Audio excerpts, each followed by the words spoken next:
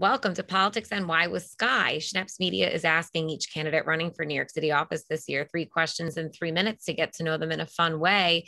And right mm-hmm. now, I'm with Council Member Antonio Reynoso, who's running to be the next Brooklyn Borough President. And we caught him right here. He's outside door knocking. Yes, yes. Tell us how it's going, Council Member. It's actually going extremely well. We're here uh, by a park in Greenpoint. So we're knocking on doors, making sure we get to know um, the voters, what issues are important to them, and then doing the best we can to to answer those questions and uh, any priorities they have, so that we can pay attention to it and really build a Brooklyn that they feel they, that they're a part of. So, you know, it's a competitive race for that Brooklyn Borough president seat. It's you and a few other well known people. So, mm-hmm. what makes you the best candidate in this race? Uh, first, uh, I'm Brooklyn through and through. Uh, I was born in Cumberland Hospital. I was born and raised in the south side of Williamsburg.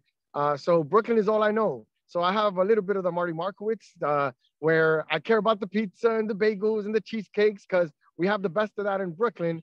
Uh, but also, I want to make sure that we could plant this progressive flag, let people know that Brooklyn should be the, the progressive center of the universe, um, given that we're the center of the universe for everything else. Um, and that's the work that I want to be able to do promote Brooklyn because we are the greatest borough, but also let people know that we are running progressive politics.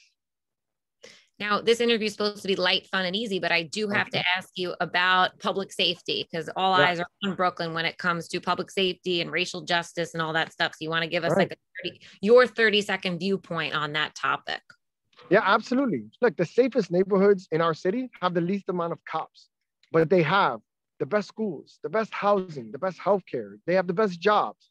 So what we need to do is bring resources to these communities um, that are aligned with the, the resources that are needed to make a secure community. Once we have that and we deal with the root cause of crime, which is poverty, we start seeing the entire borough be able to grow. We lift all of all of the borough, um, and the quality of life across the board um, is improved. So my goal here is to really uh, um, give as many resources to the communities that need it the most in an effort to drive down poverty, which also drives down crime. Okay, there you go. Now, Antonio, tell us something fun or interesting about yourself that people don't know. Well, I used to be uh, a wedding dancer. So when I was uh, younger, for a hundred bucks uh, per wedding, I used to go out and just dance. I had to keep smiling. I used to wear these John Travolta outfits, these uh, onesies, and it was a, it was a lot of fun. Um, I thought I was making a killing back there with a hundred bucks per per per event, uh, but I just had to keep smiling, keep dancing, um, dancing is something that I love to do. It's a part of me that a lot of people don't know. Uh, but uh, you know, I've danced, you know, amateurishly uh, and, and, really care about the salsa, merengue, bachata, you name it. It's it's what I like to do. Uh, so something you didn't know about me, I used to be a wedding dancer. That's a that's a great fun fact. I used to always want to be like a party promoter, dancer to get there out there. Yeah. It's not as easy as you think pulling these folks off from their chairs when they really don't want to dance, but you got to keep smiling and, and, bring the energy. And, and that's what I used to do. Yeah. And it applies to politics. So here you go. You're still out there smiling and getting people involved. Exactly. Exactly. so thank you so much for taking the time to speak with me on Schneps Media's three questions in three minutes. And I'm Skye with Politics NY.